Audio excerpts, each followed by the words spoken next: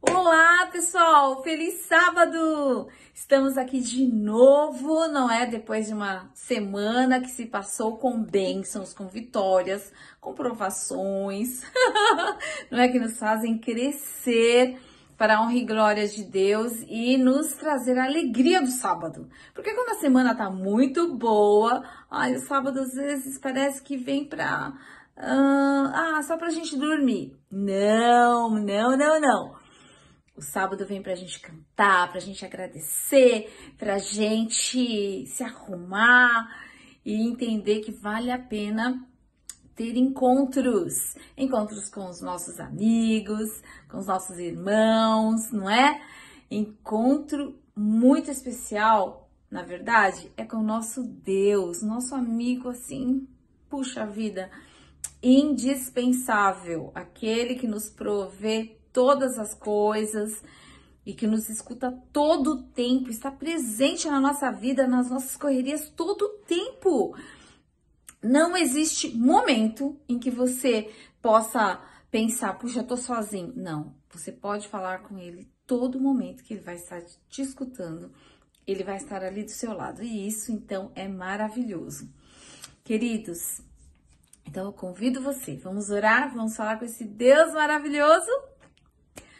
Santo, Santo, Santo, nosso Deus, nosso amado Pai, nós te louvamos, Senhor, pela oportunidade rica e maravilhosa que temos de tê-lo como nosso Deus, como nosso amigo, como aquele que nos ama mais que tudo como aquele que nos deu a vida e nos dá a saúde, nos dá as providências para a gente ter uma vida de abundância, mesmo nesse mundo, apesar das dificuldades e do pecado.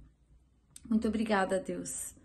E obrigada por Jesus Cristo, nosso amigo também, que morreu na cruz do Calvário por nós, para perdão dos nossos pecados. E nós te imploramos, Senhor, sim, nos perdoe, nos ajude a sermos vencedores a cada dia que tudo aquilo que nos amarra nesse mundo possa ser é, é, deixado para trás e o Senhor nos livre de tudo isso. Que as cadeias que nos prendem, por favor, a chave que só Jesus Cristo tem e que Ele pode abrir para nos libertar seja usada. Nós te imploramos e rogamos Querido Deus, que o Senhor nos dê um bom momento agora. Vamos cantar, vamos nos alegrar e vamos meditar numa história incrível sobre perdão. E nós rogamos que o Senhor abra o nosso coração para aprendermos então. E dá-nos então a tua bênção neste momento, não só para mim, não só para o Davi, mas para todos aqueles que estão nos ouvindo, nos assistindo, porque nós pedimos em nome de Jesus. Amém.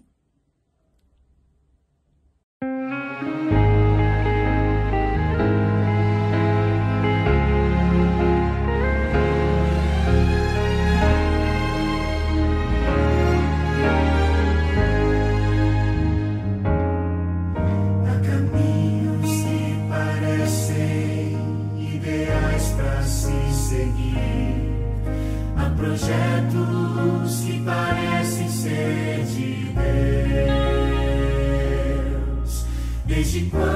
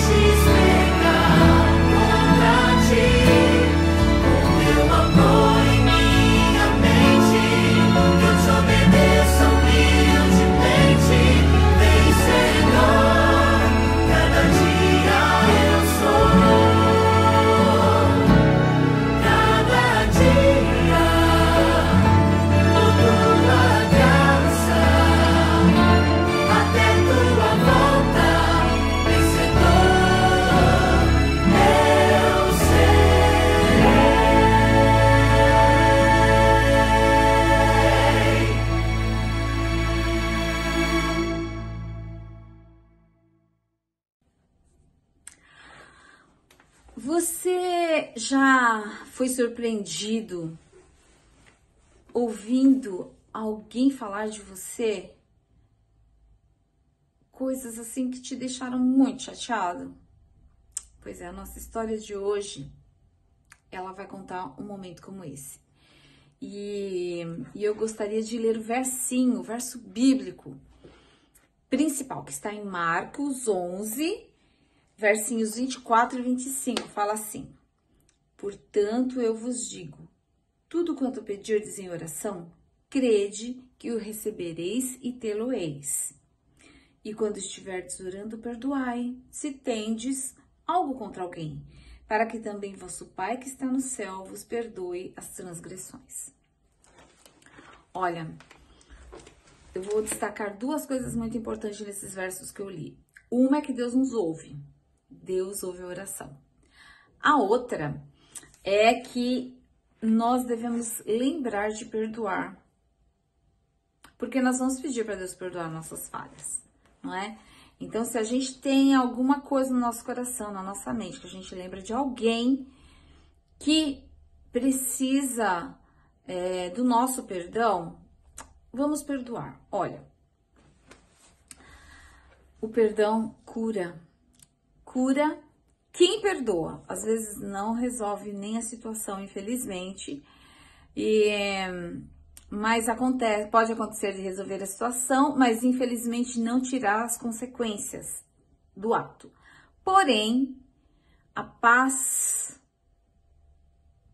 que excede todo entendimento acontece. Você tem paz, até outra pessoa, quando ela aceita o perdão, ela também fica em paz.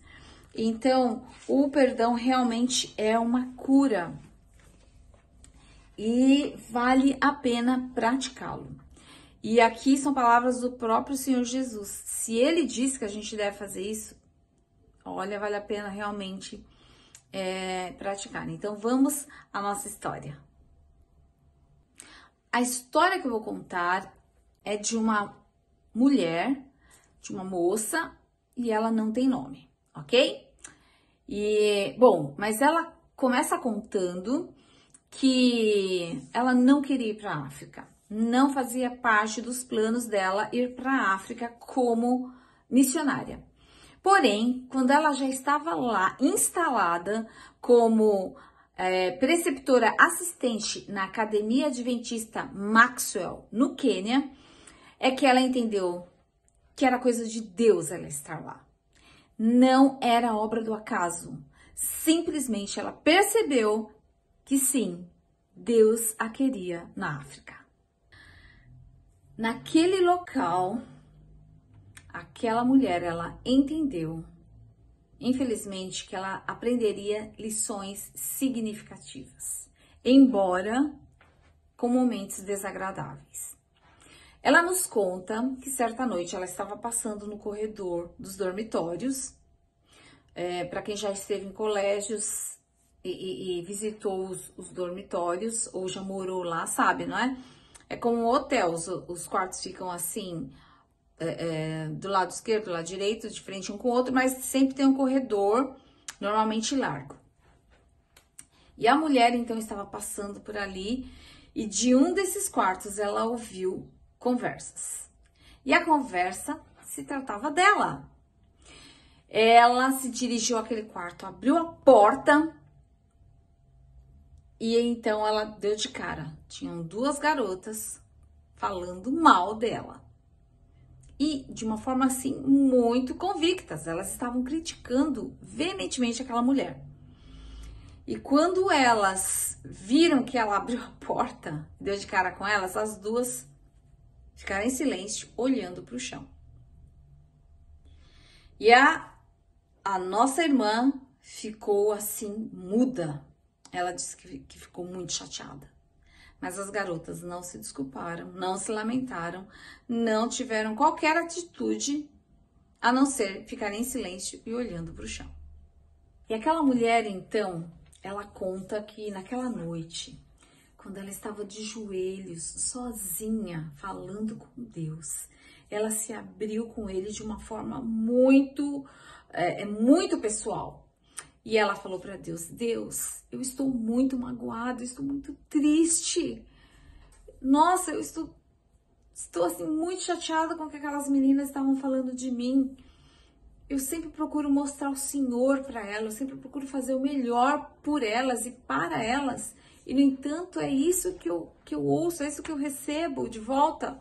Senhor, será que eu falhei como, como missionária aqui nesse lugar? Está sendo em vão o que eu estou fazendo aqui? Mas naquele momento, ela conta que ela sentiu Deus de uma forma muito carinhosa, muito amorosa, falando com ela. E Deus disse para ela: Não importa o que as pessoas falam de você. Não dê importância a isso. O importante é que eu te conheço. Eu estou muito contente com o seu trabalho aqui, estou orgulhoso de você e eu te amo. E é isso que importa. Naquela semana, aquela, aquela preceptora era responsável pelo culto matutino. E na manhã seguinte, ela se sentiu tocada a falar sobre o perdão. E, e foi esse o assunto então que ela abordou no culto matinal. Quando terminou, aquelas duas garotas a procuraram e elas pediram desculpa. Aquela, aquela mulher, ela se sentiu muito feliz. Claro que ela aceitou o pedido de desculpas das garotas e ela se sentiu muito grata por Deus a tê-la usado para alcançar aquelas meninas. Ela, ela se sentiu muito grata porque é, Deus a usou e por ela ter sido sensível à voz do Espírito Santo quando a inspirou a falar sobre aquele assunto. E, e ela então ficou muito agradecida a Deus por aquele momento. Aquela mulher foi entendendo as lições que ela tinha que aprender naquele lugar. E uma lição assim fundamental era dependência de Deus. Ela entendeu que Deus era tudo que ela precisava para saber resolver e encarar a vida. Ela entendeu que ele é conselheiro, mas entendeu também que ele é consolador. Ela entendeu que a sua graça é tão maravilhosa que está disponível a todos nós e que todos nós somos pecadores. Mas ela entendeu também que muitas pessoas vão entender e aceitar a graça de Deus através das nossas atitudes. Como nós estamos vivendo com é, com as pessoas que muitas vezes têm atitudes desagradáveis para conosco e como nós estamos tratando essas pessoas. E dessa forma, então, as pessoas vão entender o que é a graça, o que é o perdão, o que é o amor de Deus. Quando a gente estiver realmente vivendo isso, independente da atitude do outro. Sabe, queridos, nós não fomos criados em série não existe um monte de iedas iguais. Não. Eu sou única. Você é único. Você. E, e isso, infelizmente, nem sempre vamos pensar igual. As nossas diferenças podem causar desafios interpessoais. Mas nós somos convidados a pensar como Deus perdoar uns aos outros e aprender a conviver com as nossas diferenças. Sabe o que vai acontecer com isso? Nós vamos crescer em sabedoria e graça. Porque se a gente lidar diferente, se a gente montar em cima do outro, não, não vamos chegar a lugar nenhum. Deus nos convida a, a sabermos e a buscarmos o perdão buscarmos praticar o perdão. A história dessa moça realmente nos ensina bastante, bastante coisa. E eu digo a você, perdoar realmente vale a pena. E ela termina então nos dizendo que valeu muito a pena a estadia dela naquele lugar. Queridos, aí vem a pergunta que é o tema dessa meditação. Eu falhei com você? E aí eu faço essa pergunta: eu falhei com você? Oh, querido, me perdoe. Eu desejo muito o seu perdão, porque eu quero que cada vez que eu me ajoelho e peça perdão, peço perdão para Deus, eu quero que ele me perdoe. Não é? E e eu desejo que as pessoas que de repente eu não entendi as atitudes delas na minha vida, que eu também é, é, procure aceitá-las, não é? E a gente possa conversar sobre as situações para a gente continuar crescendo como, como amigos e irmãos. Eu quero perdoar e eu quero também ser perdoada. Bom, queridos, que Deus nos ajude que nós possamos continuar crescendo juntos em estatura e graça. E nos lembrando as palavras de Jesus em Marcos 11, não é 24, 25. Uma, o que a gente pedir em oração, ele vai nos atender. Ele vai nos ouvir. E outra, que o desejo dele é que a gente se perdoe. Olha, queridos, os grandes ganhadores nisso tudo somos eu e você. Então, que Deus nos abençoe, que nós possamos, então, continuar crescendo em estatura e graça. Beijo grande no seu coração. Tchau. Feliz sábado.